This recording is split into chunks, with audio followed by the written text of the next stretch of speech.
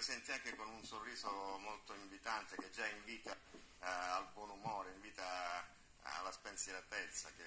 sì, anche se io sono abbastanza periodo. malinconico in realtà, cioè, questo è in comune con tanti comici eh, come Totò, Petrolini, eh, parlo ovviamente non è un paragone ovviamente, però sì, dietro, dietro questa, anche, anche, questa potrebbe essere una maschera, in realtà c'è, c'è una grande malinconia